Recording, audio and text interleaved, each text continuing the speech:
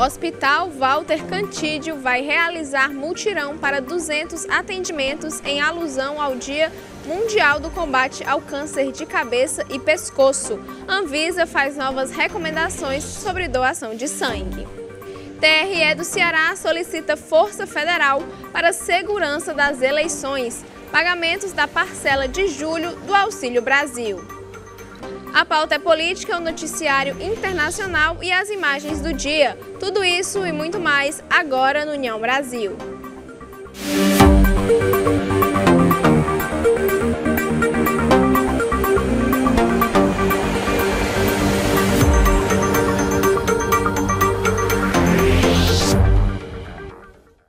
Olá, boa noite. Eu sou Érica Prado e começa agora o União Brasil. Com a proximidade do Dia Mundial de Conscientização e Combate ao Câncer de Cabeça e Pescoço, celebrado em 27 de julho, o Hospital Universitário Walter Cantídio, do Complexo Hospitalar da UFC, vai realizar um mutirão para 200 atendimentos na próxima segunda-feira. O câncer de cabeça e pescoço passou a ocupar a terceira posição entre os tumores mais frequentes na população brasileira, segundo a Associação de Câncer de Boca e Garganta. Márcio Studart, que é chefe do Serviço de Cirurgia de Cabeça e Pescoço do Hospital Universitário Walter Cantídio, explica como se caracteriza esses tipos de câncer. O câncer de cabeça e pescoço, ele deve ser visto como normalmente úlceras que acontecem na pele ou na mucosa da boca ou da garganta. O cirurgião detalha quem são as pessoas que fazem parte do grupo de risco e quais os sinais de alerta para estes cânceres. Para câncer de pele, que na maioria das vezes acontece na cabeça e pescoço, pessoas de pele muito clara e expostas ao trabalho, ao sol constantemente, essas pessoas são de risco. Para as pessoas que fumam e bebem é, excessivamente, essas pessoas são de risco para câncer de boca e de garganta e de laringe. Então, lesões ulceradas, feridas que não cicatrizam na pele, ou, ao contrário, lesões também ulceradas que não cicatrizam na, na língua, no céu da boca, é, por mais de 15 dias, que parecem até aftas, mas que não cicatrizam, pelo contrário, progridam, especialmente essas pessoas que eu citei, que são de risco, essas pessoas precisam procurar ajuda médica porque pode ser um tumor de boca. Segundo Márcio Studart, evitar hábitos como fumar e ingerir excessivamente bebida alcoólica são fundamentais para dificultar o aparecimento dessas doenças. Mas uma forma bem simples de driblar esses problemas é manter uma boa higiene bucal. Pacientes que não cuidam da higiene dental, e tem processos inflamatórios crônicos, cacos dentários que machucam a mucosa, isso sim pode levar ao surgimento, diante de outros fatores, o surgimento de lesões cancerosas. O chefe do Serviço de Cirurgia de Cabeça e Pescoço do Hospital Universitário, Walter Cantídio, enfatizou que as chances de cura são maiores quando tratados desde o início. Quando o câncer é diagnosticado precocemente, regra geral, a chance de cura é muito, muito elevada. E o tratamento muito mais simples, muitas vezes realizado até com anestesia local, por exemplo, no caso de câncer de pele. Mas, no entanto, lesões diagnosticadas tardiamente, cai muita chance de cura e, e a chance de, de desfiguração, a chance de perda de função é muito maior porque as cirurgias são muito mais extensas. Diante desse quadro preocupante e com a proximidade do Dia Mundial de Conscientização e Combate ao Câncer de Cabeça e Pescoço, celebrado em 27 de julho, o Hospital Universitário do Complexo Hospitalar da Universidade Federal do Ceará vai realizar um mutirão de atendimentos na segunda-feira, dia 25 de julho. Dia 25, em alusão ao dia 27, que é o dia de combate ao câncer de cabeça e pescoço, nós vamos fazer um mutirão, atender, vamos atender 200 pessoas, é, que será o atendimento entre 7 às 11 horas nas mangueiras da UFC. A Agência Nacional de Vigilância Sanitária, a Anvisa, emitiu um documento com novas recomendações para doadores de sangue em virtude do aumento de casos de varíola dos macacos no Brasil. A Agência Nacional de Vigilância Sanitária divulgou nesta semana um alerta da Organização Mundial da Saúde sobre a triagem de doadores de sangue em meio aos casos de varíola dos macacos. Ainda que não haja confirmação científica sobre a transmissão da doença por meio de sangue, tecidos, células e órgãos, algumas medidas foram recomendadas de forma preventiva. Quem foi infectado não deve doar sangue até o desaparecimento dos sintomas e de lesões na pele. O prazo mínimo da restrição é de 21 dias após o início dos sintomas. Os indivíduos que tiveram contato com infectados não devem doar sangue até 21 dias após o contato. A recomendação também vale para contato com assintomáticos, pessoas que não apresentaram sintomas de febre e lesões na pele. A varíola dos macacos é uma doença causada por vírus e que é transmitida pelo contato próximo com uma pessoa infectada e com lesões de pele. O contato pode se dar por meio de abraço, beijo, massagens, relações sexuais ou secreções respiratórias. As inscrições para o programa Universidade para Todos, o ProUni, e do Fundo de Financiamento do Estudante do Ensino Superior para o segundo semestre irá acontecer em agosto. De acordo com o ministro da Educação, Vitor Godoy Veiga, durante a live semanal do presidente Jair Bolsonaro, as inscrições para o ProUni e FIES para o segundo semestre irão acontecer em agosto. Para concorrer a uma bolsa pelo ProUni, o candidato deve ter participado do Exame Nacional do Ensino Médio 2020 ou 2021. Já para participar do FIES, é necessário ter feito o Enem em qualquer edição a partir de 2010. Os candidatos devem ter média mínima de 450 pontos nas áreas de conhecimento e nota superior a zero na redação. Os editais com as demais informações sobre os processos seletivos ainda não foram publicados pelo Ministério da Educação e o Ministério da Educação definiu valores semestrais para o financiamento do FIES.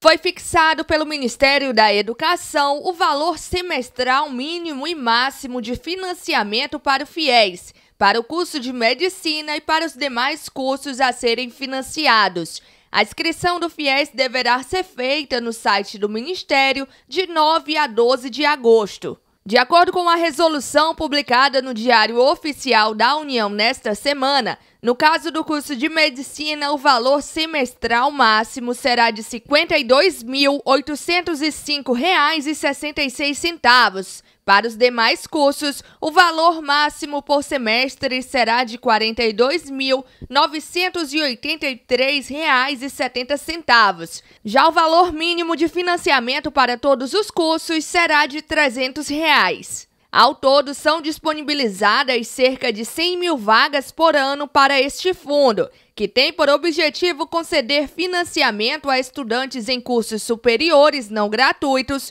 com juros zero e uma escala de financiamento que varia conforme a renda familiar do candidato. Para participar, o candidato precisa ter uma renda familiar mensal bruta por pessoa de até três salários mínimos, além da nota igual ou superior a 450 no Enem e não ter zerado a prova de redação.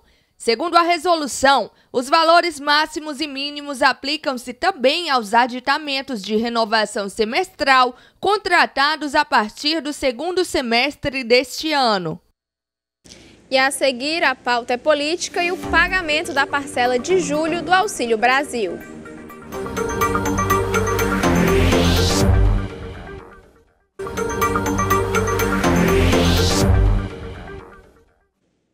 TSE cria grupo para enfrentar violência política e ataques à imprensa. Bolsonaro diz que precatórios e abono estarão em cortes no orçamento. Assuntos para a pauta é política. O Tribunal Superior Eleitoral criou um grupo de trabalho para enfrentar a violência política nas eleições de 2022. Portaria publicada na última quinta-feira e assinada pelo ministro Edson Fachin, presidente do tribunal, cita relatos de violência política e de atentados à liberdade de imprensa como motivações para montar o grupo. A ideia do tribunal é discutir diretrizes para disciplinar ações de enfrentamento à violência política. No pleito deste ano, O grupo de trabalho sobre a violência política terá 15 participantes e será coordenado pelo Corregedor-Geral da Justiça Eleitoral, o ministro Mauro Campbell Marques.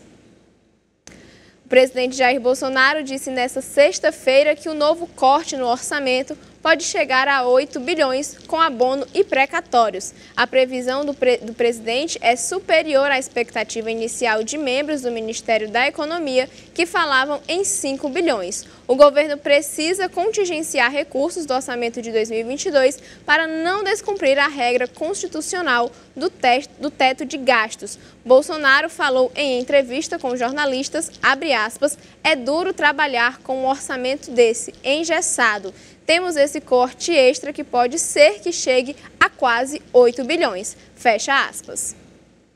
O Tribunal Regional Eleitoral do Ceará solicitou a Força Federal para a segurança das eleições em 10 municípios.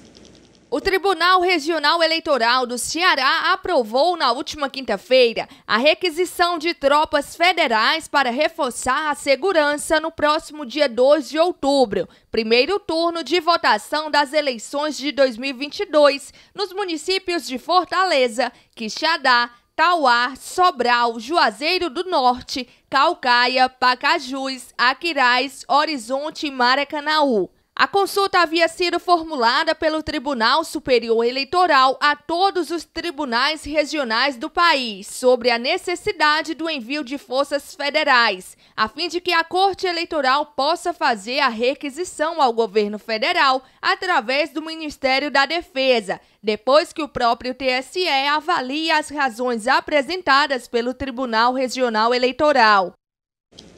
Segundo o levantamento do Instituto Brasileiro de Geografia e Estatística, a população brasileira está cada vez mais velha.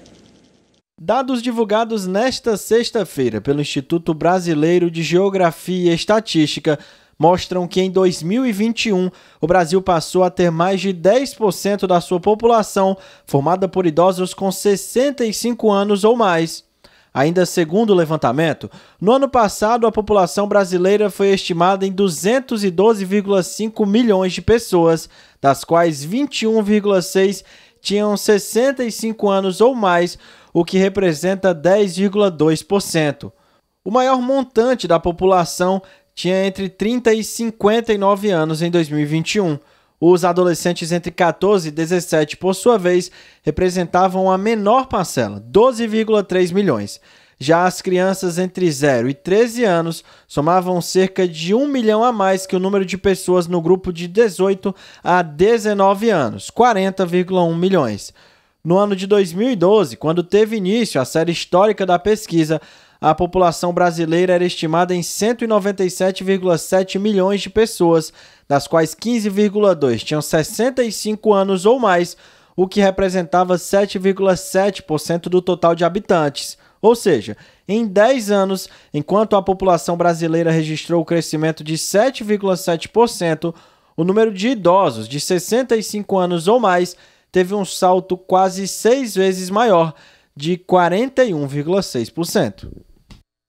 Partidos políticos pedem que o Supremo Tribunal Federal permita repasse de recurso do fundo eleitoral a um político de uma mesma coligação. Os partidos PL, União Brasil, PP e Republicanos apresentaram uma ação ao STF, pedindo que seja permitido o repasse de recursos do fundo eleitoral de candidatos majoritários para candidatos proporcionais. As quatro legendas são as principais integrantes do Centrão. Na prática, o que os partidos pedem é que as legendas que façam parte de uma mesma coligação majoritária possam repassar os recursos do fundo para candidatos proporcionais. Neste ano, o fundo eleitoral terá 4,9 bilhões de reais a serem distribuídos pelos partidos. As quatro legendas que apresentaram a ação terão somadas cerca de 1,6 bilhão de reais neste ano, segundo cálculos do Tribunal Superior Eleitoral. Para os partidos, essa decisão é importante porque muitas negociações locais por apoio na chapa majoritária passam pela divisão de recursos a serem distribuídas para as campanhas de deputados. Por outro lado, o número de deputados é um dos critérios adotados pelo TSE para definir a distribuição dos recursos do fundo eleitoral aos partidos políticos. Na ação apresentada ao STF na última terça-feira e registrada na quarta-feira, os partidos reconhecem essa negociação e dizem se tratar de uma prática comum o compartilhamento de despesas de campanha para o Tribunal Superior Eleitoral, com a proibição das coligações nas eleições proporcionais, as campanhas dos candidatos a cargos majoritários só poderão repassar os recursos do fundo eleitoral para partidos da mesma coligação utilizarem nas eleições majoritárias. A ação foi distribuída para o ministro Ricardo Lewandowski, que está trabalhando durante o recesso do STF. Os pagamentos do Auxílio Brasil com número de inscrição social com final 5 receberam na última sexta-feira a parcela de julho. Beneficiários com o número de inscrição social final 5 receberão no dia 22 de julho a parcela do Auxílio Brasil. O valor mínimo do benefício é de 400 reais. As datas seguem o modelo do Bolsa Família, que pagava os beneficiários nos 10 últimos dias úteis do mês. O beneficiário poderá consultar informações sobre as datas de pagamento, o valor do benefício e a composição das parcelas em dois aplicativos: o Auxílio Brasil, desenvolvido para o programa social, e o Caixa Tem, usado para acompanhar as contas poupanças digitais do banco. Atualmente, pouco mais de 17 milhões de famílias são atendidas pelo programa. No início do ano, 3 milhões de famílias foram incluídas no Auxílio Brasil. Neste mês, as parcelas mínimas ainda equivalem a 400 reais. De agosto a dezembro, o programa pagará o benefício mínimo de 600 reais, conforme emenda constitucional promulgada no último dia 14 pelo Congresso Nacional. E no próximo bloco, noticiário internacional e as imagens do dia.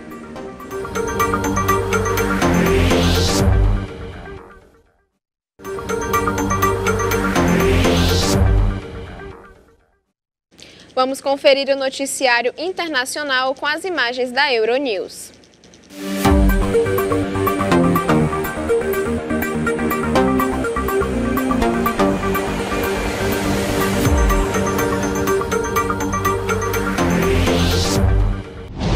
Após dois anos acontecendo em formato virtual, a San Diego Comic Con finalmente volta presencialmente em 2022. A convenção é uma das mais importantes para o mundo do entretenimento, principalmente em relação à cultura pop. Séries, filmes, quadrinhos, games, animes e muito mais fazem parte desse universo criativo. Devido à pandemia de coronavírus, o encontro presencial foi cancelado em 2020 e 2021. O evento começou na última quinta-feira e segue até o domingo, dia 24, na cidade de San Diego, na Califórnia. Parlamentares escolheram a primeira presidente da Índia entre as comunidades tribais no país nesta quinta-feira. Draupadi Murmu, uma professora de 64 anos, se tornou política e será a segunda mulher a ocupar o cargo, em grande parte da cerimônia como chefe da República, quando assumir o cargo em 25 de julho, no início de um mandato de cinco anos presidente dos Estados Unidos, Joe Biden, está com Covid-19, informou na última quinta-feira a Casa Branca. O comunicado afirma que Biden, de 79 anos, apresenta sintomas leves, está totalmente vacinado e foi medicado com Paxlovid, um antiviral contra a Covid-19. Ainda de acordo com o comunicado, ele fará isolamento, mas continuará a realizar todas as suas funções normalmente. Vamos conferir agora as imagens do dia. A nova carteira de identidade nacional começará a ser emitida na próxima semana. O documento adotará o número de inscrição no cadastro de pessoas físicas, o CPF, como registro geral, único e válido para todo o país. As primeiras unidades federativas a receberem o novo documento são Acre, Distrito Federal, Goiás, Minas Gerais, Paraná e Rio Grande do Sul. Esta última já no dia 26. A nova identidade vem com um QR Code que pode ser lido por qualquer dispositivo apropriado, como um smartphone, o que permitirá a validação eletrônica de sua autenticidade, bem como saber se ele foi furtado ou extraviado. O Ministério da Justiça e Segurança Pública divulgou na última sexta-feira um levantamento de denúncias no canal que a pasta criou para verificar o cumprimento do decreto que obriga os postos de combustíveis a exibirem o comparativo de preços cobrados antes e após a diminuição do ICMS desde o dia 11 de junho, quando a página entrou no ar, foram feitas 569 reclamações. Começou na última sexta-feira e vai até domingo o 13º Campeonato Pan-Americano de Wushu, arte marcial chinesa popularmente conhecida como Kung Fu. A competição realizada pela terceira vez no Brasil será no ginásio da Associação Atlética do Banco do Brasil, em Brasília. As disputas serão nas categorias infantil, infanto-juvenil, juvenil e adulto, reunindo atletas com idade entre 6 e 40 anos. Fica por aqui o jornal de hoje. Se você quer ver o seu assunto ou a sua sugestão no nosso jornal, tem várias formas de participar. Seja pelo nosso Facebook, Instagram, WhatsApp, nosso canal do YouTube ou nosso e-mail jornalismo@redeunião.com.br. Sua sugestão pode estar aqui no União Brasil. Muito obrigada pela sua companhia, uma ótima noite e um excelente fim de semana. União Brasil, informação além da notícia.